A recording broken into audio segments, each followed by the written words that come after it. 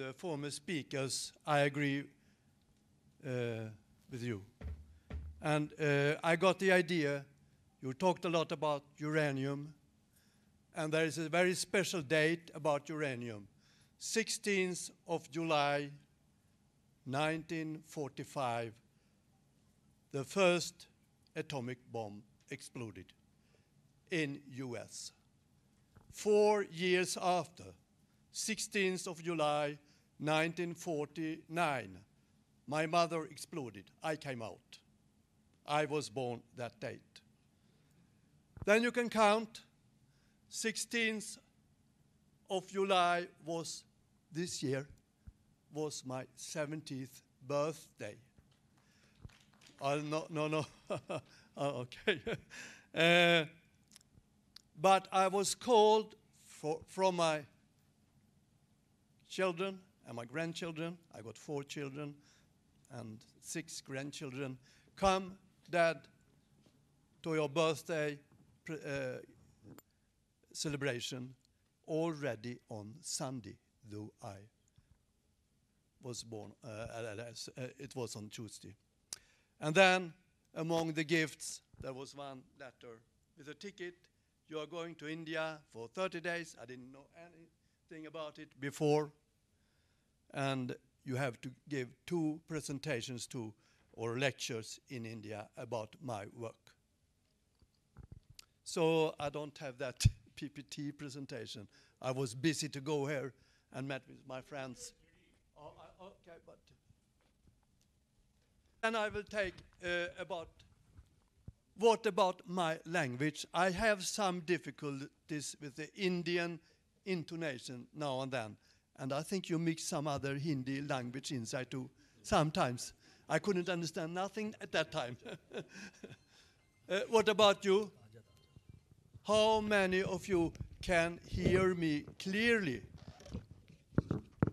Okay, then I go ahead, but still I try to speak slowly. Oh, oh. Uh, the main topic, what I'm talking about, there are two scientific, I would say, paradigm shift. We say, not only me, but also my fellow Indian comrade Rameshwan and some pioneers before us, that in cancer the microbes plays, I will say, the most important role. They are not the cause of it. The cause, you gave so many causes, but they play the most important role. So if you know about these microbes, you have so many new avenues to change the outcome of cancer. You don't have to die from it if you check on these microbes and treat them in a good manner. Secondly, I said microbes, and that is maybe even bigger. You won't find much about it in the textbooks. But if you have a bacteria, in the normal schools, you are taught you take a bacteria, maybe from the body, you put it in a petri dish, grow it for three days, and then comes out a colony of this same bacteria. You check them, they all look the same, and they only uh, give birth by dividing themselves to new bacteria, the same size, the same appearance, everything. But these say one bacteria has a life cycle. They start, and I see now, this is difficult. Think about the um, the butterfly. It starts by an egg. It goes to a larva. The larva transforms into a pupa, and then finally an adult that flies around maybe for one week, two weeks, then transform back into eggs. The same with our microbes. So from what we are, you could take the streptococcus we have in the mouth, in the mucosa, they could change and go through a cycle. Maybe not only with four steps like the butterfly, but eight stages maybe. We don't know them exactly. I think no scientist in the world know one bacteria exactly the full cycle of life they have. But I can give you a hint. They start with small virus-like or virus-sized particles running around in our blood, and we have seen them. Then they grow up like cocciformed, and compared to those in the petri dish, these forms in the blood or in tissue, they don't have any cell wall. They are cell wall deficient. So in the literature, you can see for CWD, then you find these type of bacteria. So that I can change the size and shape quite a lot. And these bacteria then gone, they could be cocciforms, and these cocciforms could be rather good, uh, great. And in the final stages, they even look like fungi-like forms. They could create mycelial forms. And that was the sensational result we could see in Gothenburg. From 40 specimens of cervix cancer brought from Pondicherry, India, to Gothenburg, every one of them, when we smashed them and put them in the glass and put them into a microscope, they were filled with yeast form, that's the fungi, and mycelial forms.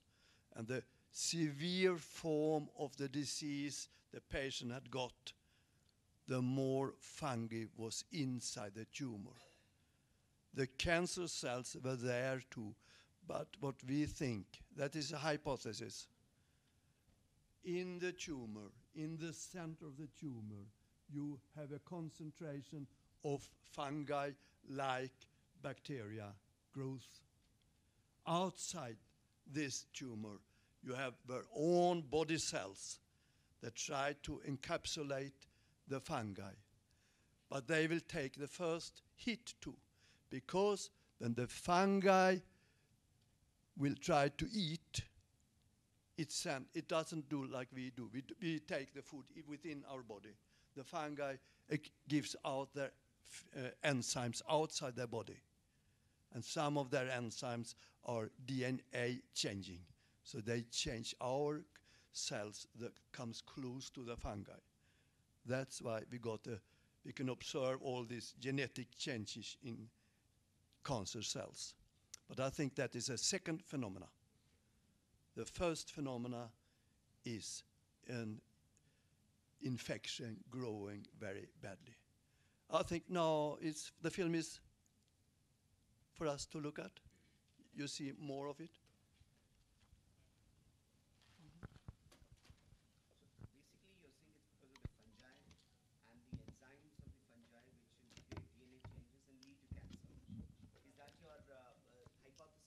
No, the fungi giving out the enzymes is what is changing our cells surrounding the tumor. And that we detect as a cancer cells. And we think it's a genetical change, that it's a start of the cancer. It's a secondary phenomena. But I don't say also the infection is not the primary one. The primary cause is the environment in our body. It could be, like we saw, lead, toxicity. It could be so many multifactorial things. Then it's, uh, we create a milieu in the body, acidic, for example, where the fungi thrives. So if you look at the fungi, we can see we can thrive it, give it a lot of sugar, the fungi will grow. We can starve the fungi, eat carbohydrate reduced food and stick to. And we are in India now. You have one plant in India, excellent. in fungi killing. There's a coconut oil, the lauric and caprinic acids in the coconut. So just to Google. Uh, no, it's on. We, we go for that one. Then uh, we can have discussion. I can talk more. We start. Uh, 24 minutes about my mentor and so forth.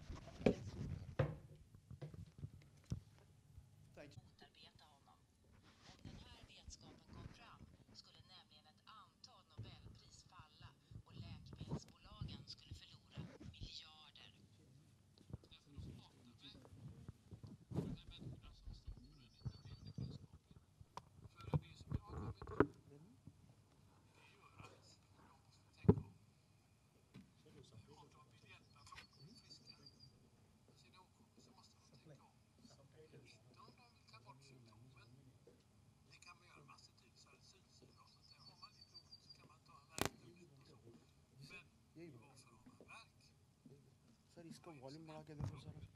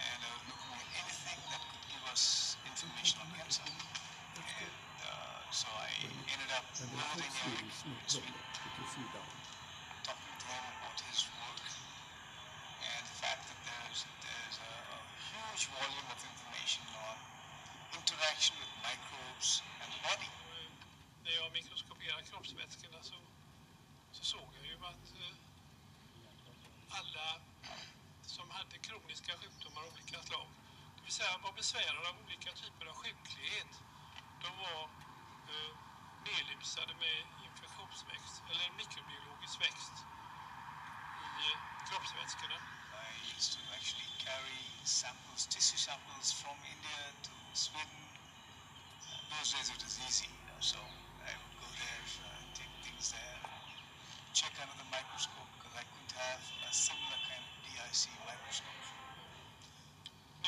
Tittat färdigt på blodet så ja, man kan säga att man kan inte titta färdigt på blodet för det kan tydligen variera i det oändliga. Men eh, när jag tyckte att jag hade sett det viktigaste då började jag intressera mig för hur, hur eh, tumörerna såg ut inuti. För jag förmodade att eh, eh de infektioner eller den mikrobiologiska växt som jag såg i kroppsvätskorna den skulle även finnas i de fasta vävnaderna. Det var för mig naturligt. Jag misstänkte det helt enkelt. Och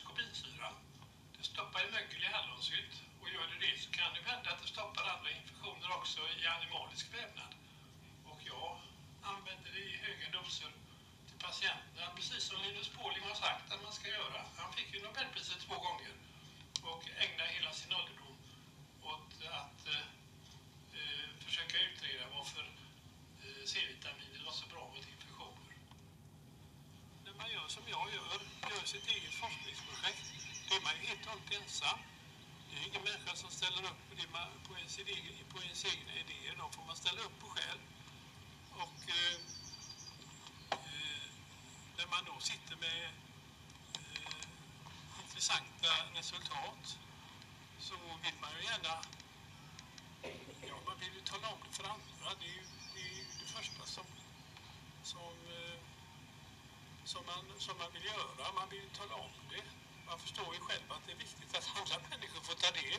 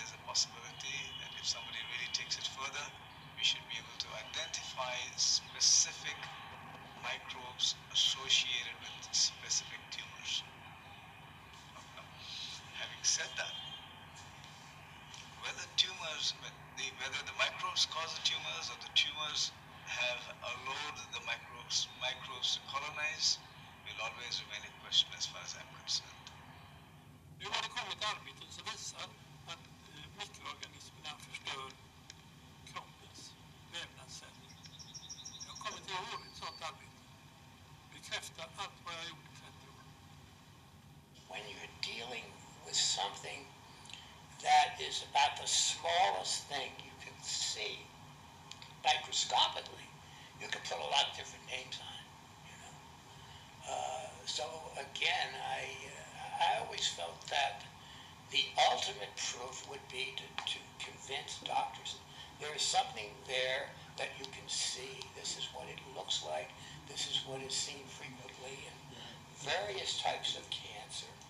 And this is what you should be recognizing as bacteria rather than as a, a nuclear dust or granules. What does that mean, granules? I mean, it's, it's, a, it's a nothing word, you know. If it's a granule, that's a piece of sand, that's one thing. But if it's a, if it's a microbe, you should know it's a microbe. The microbe causing cancer or cancer inviting microbes to be growing my stand is very simple. I don't believe microbes can identify people and say, hey, I have an issue with you, therefore I need to fight with you. Microbes, like any other living forms, that are going around trying to find a cozy place where they can live, they can colonize, grow, multiply, establish themselves without a threat to their presence. So, in this case, the microbe goes around looking for the right kind of environment it would prefer. Now, what is interesting is certain kinds of diseases invite or, or, or create a milieu which is good for certain types of microbes. I think one of these days, you know, it will be discovered that yes, there is this cancer germ. Yes, it can be found normally as well as in cancer, but they are uh, uh, extremely important in terms of initiating cancer because we know that any time you have bacterial buildup, you have inflammation, and inflammation is always the first sign of cancerous activity. I've, I, I did as much as I could. I'm still continuing to do what I'm doing because I know uh, what uh, we, what Erik did, and, and later what we did together is amazing. And there's a whole, there- there's a, a lot of information to be dug out. And, and what we uncovered is not something which did not exist before or not something that was not known to science before. And just look at the cell wall deficient forms, which is the basis of what Erik and I got and did and started looking for what other forms are there in tissues. For over 150 years nearly, medical journals, especially journals focused on microbiology, did talk about cell wall deficient forms or L forms, bacterial L forms. But microbiologists themselves very conveniently did not bother to continue on that work. Uh, They say a lot of doctors still believe that bacteria have one form, which is called monomorphism. Now, why anybody would still believe that in 2017, I have no idea. but that's that's part of it. But I also think the, the biggest part is if there is a germ in cancer that you can see consistently in cancer by looking under the microscope with a special coloring, and we have not seen this, it makes us look like you name it, fools, or it's like it's that's it's inexcusable. So, so it would be it would be horrible for a medical science to admit that there was a cancer germ that you could see microscopically, and of course, that in itself would totally disrupt, you know, international uh, cancer research as well as drug therapy, and on and on and on. So you could see why it would be a terrible threat to the uh, not only to science but to the economics of science.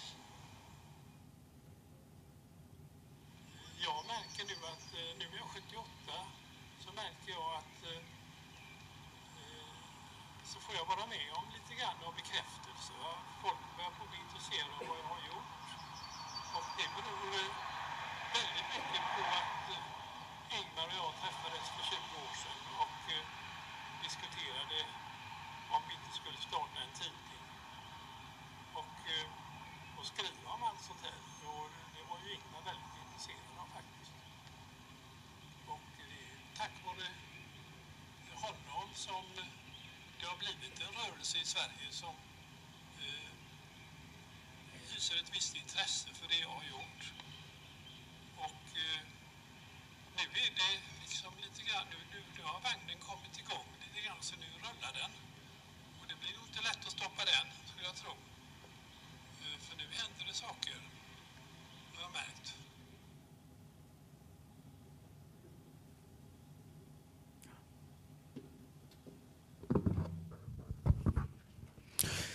Good afternoon. I think uh, it's. I'd like to welcome all of you here for a, a brief uh, things. Yes, we were talking about microbes and cancer. You, you stand beside me. Okay. No, no, but uh, I can introduce him. Yes, Uh, yes, yes. uh. I, I took the microphone from my good friend Ramesh here. He will stand beside me. So I, uh, when reaching these values or uh, standpoint we have today, that cancer is uh, very highly integrated with microbes, and the microbes are going through a cycle. That is a paradigm shift. So I have to go back for myself and my uh, time, how I shifted in my brain, but because your own brain could be, uh, uh, your own brain could be stopping you from thinking in a new way. It started by, and on the film, you saw my wife at that time. She, uh, in 1990, 91, uh, I made another book, and I'll tell you about it. It was, it was called AIDS Taboo, and that book uh, was about how did the AIDS epidem- epidemic, and especially how was the virus HIV created? Was it by man, nature, or by God? Uh, okay, very shortly, I came to the, to, to the conclusion it was man made in a laboratory. But then my wife told me, I feel something hard in my breast. like a pea size. And later on, it was um, examined as a breast cancer, the wife you saw here. And because of writing that AIDS book, I was a bit familiar to go and to the library at that time. Internet wasn't that popular, and find and even read scientific literature. But first, I comforted her and said, you know, breast cancer these days, you know, they have so good treatment, so forth, so it is actually no problem. That was what I was thinking. But when I read the scientific text, I said, the problem is as great as it has been for the last 30, 40 years. Only through early diagnosis they improve the statistics. So many more stay alive more than five years because by this mammography you can find the cancer three, four years earlier. But still, the death rate is very high. So then, okay, she was called to the clinic immediately for surgery and radiation because it went up into the armpit. You could see on the, uh, there.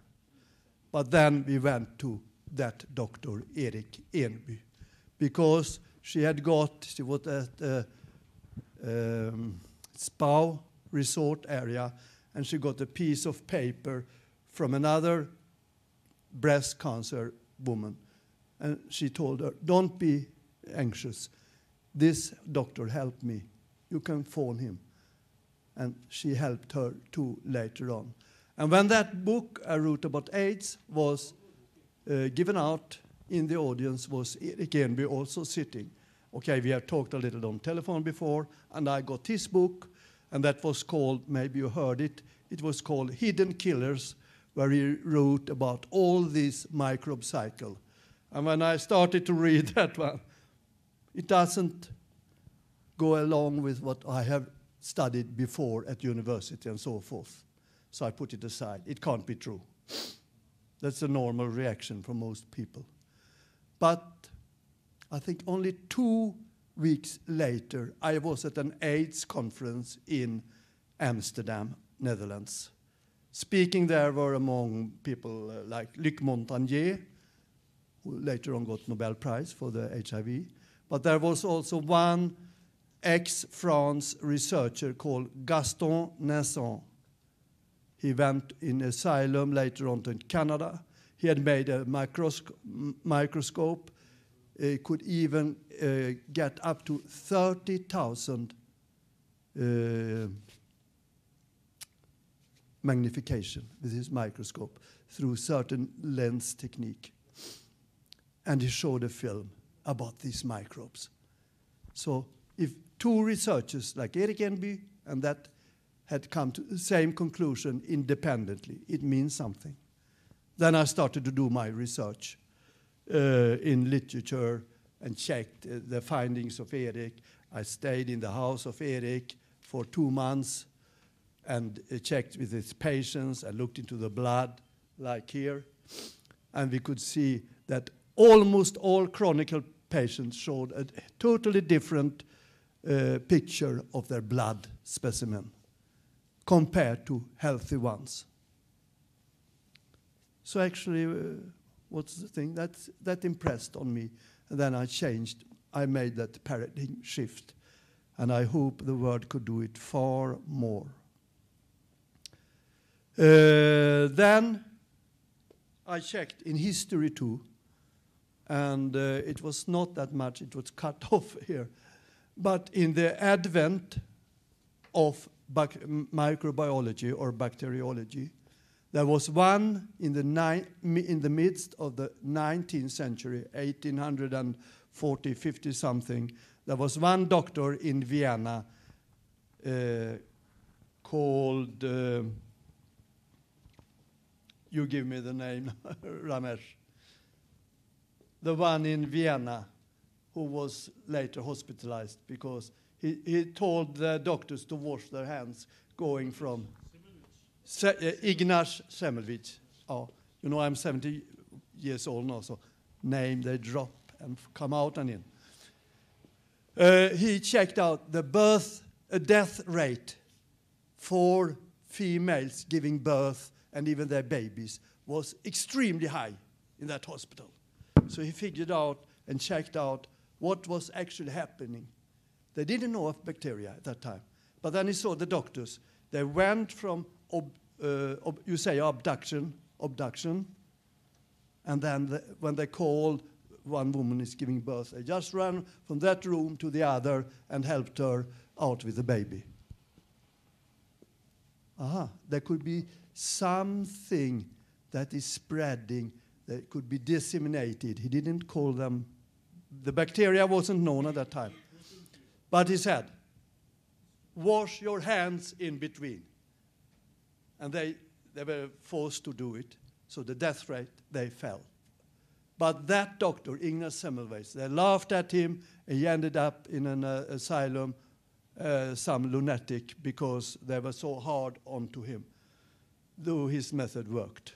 It was only him for him to be recognized about 30, 40 years later when Louis Pasteur in France and Robert Koch in Germany found that we have small things in our body called, and they call them bacteria, that could even kill a big man of 70, 80 kilograms. They laughed at them too. But then I saw, what about Pasteur? He took his finding from a somewhat other microbiologist in France who was called Antoine Béchamp. And he had seen the same thing in his uh, microscope as Erik Enby, as Naessens, and so forth. And then there was another Swede, Ernst Bernhard Almqvist. He was going to be a professor. He went for a short term to Paris to uh, work together with Pasteur, but then he spent many months alongside with Robert Koch. And he checked his uh, tuberculosis bacterium. Now they call them mycobacterium. He checked them, took them out, and he made some experiments outside and let the bacteria grow in different uh, nutrition and then he checked in the microscope. And they looked different depending on the milieu. So he said that there must be some polymorphism or pleomorphism among bacteria. But robert koch and they told robert koch we must publish about these findings. Robert koch said no. It is enough to convince uh, the scientific world that there is one bacteria that could kill a human being, and that bacteria is a bacteria, is a bacteria, and divide. No more. So, but Bernhard Almqvist, he went on in Sweden. And he was the one, he was a professor, and he was also in the leading two main cities in Sweden. He saw that they uprooted cholera, typhus, paratyphus, and some more diseases by introducing sewage system.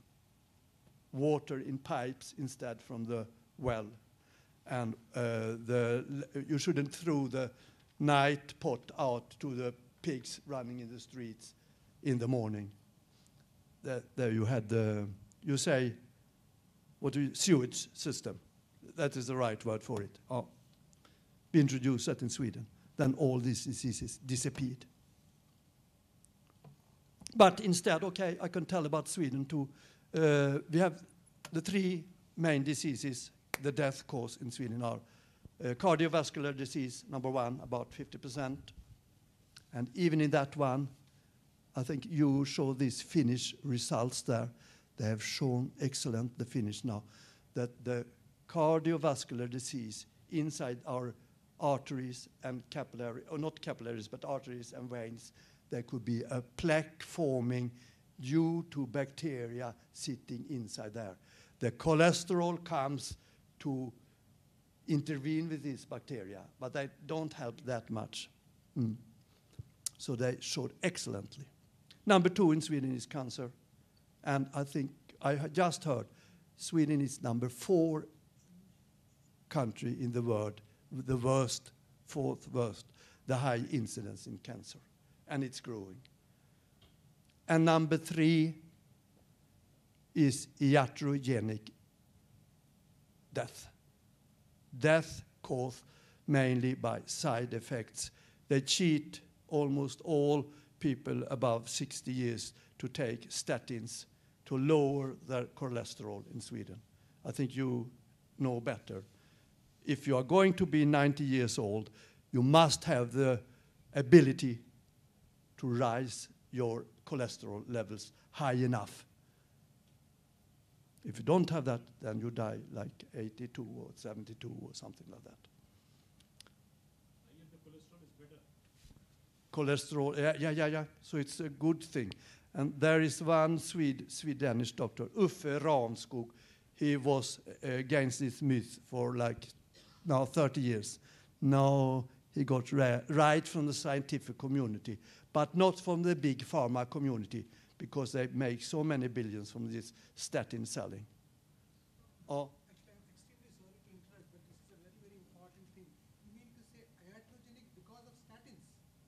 You think uh, the side effects of statins and so many other medi- medical treatment too. And also, Oh.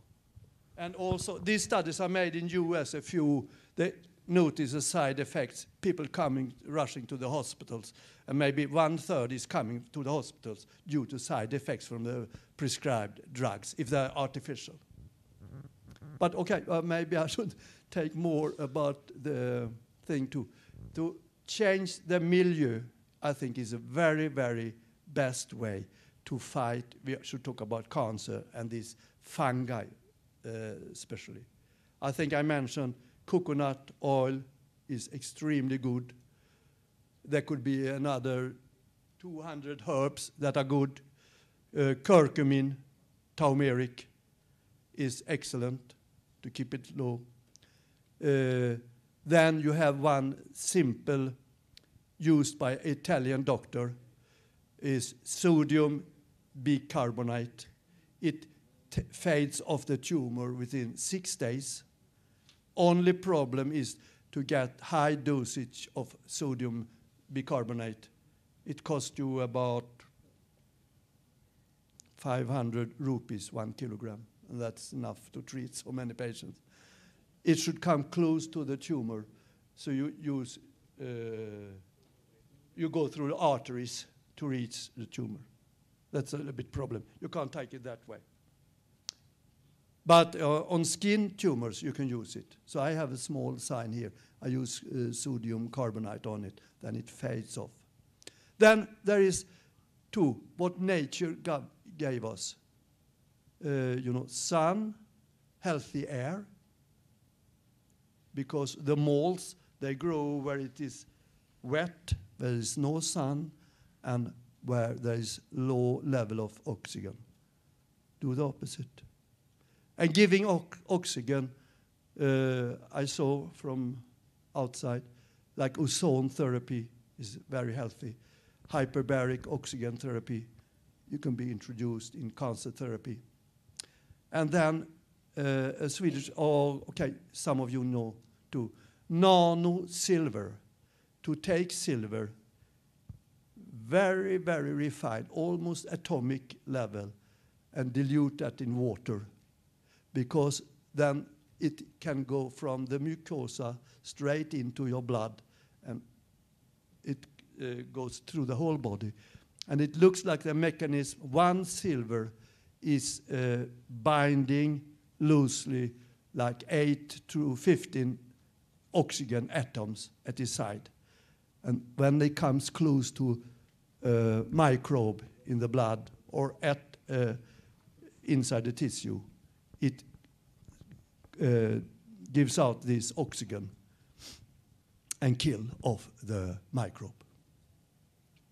And also that nanosilver, you can use it for the intestine, but it saves the good bacteria.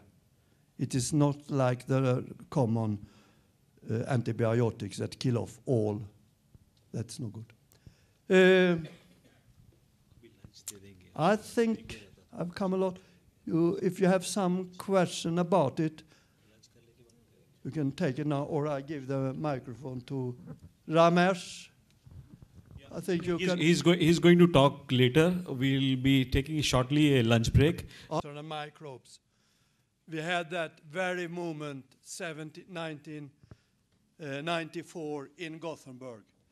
That was me and Erik Enby who talked a lot on the film. But the third man in the film, who later went to Montreal, was I forgot your name. Dot S E and, Swedish, and there are some uh, very nice um, videos too, that you can see in the microscope for different diseases. And just remarking to what you said too, uh, I couldn't say that time, but there are recent findings now that the Alzheimer disease, that's uh, you said it was almost a new disease, and some of three of your colleagues got it.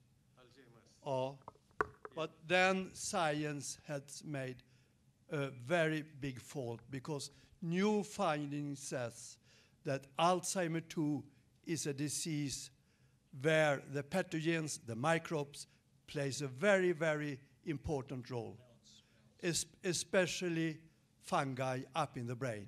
And the first thing that the body defends itself with is building up this beta amyloid plaque. Science thought they were part of the disease. They took the beta amyloid plaque, and the patient died much faster. But hopefully it, it may change. But we need your help also to spread these ideas. Big pharma is awful. They stop these things. Uh, Uh, film come is on. ready. Yeah, yeah. Film is ready. Before film as such, we just want to, we'll just start that filming two minutes. Uh, Babu Rao sh- will leave otherwise. Uh, it's a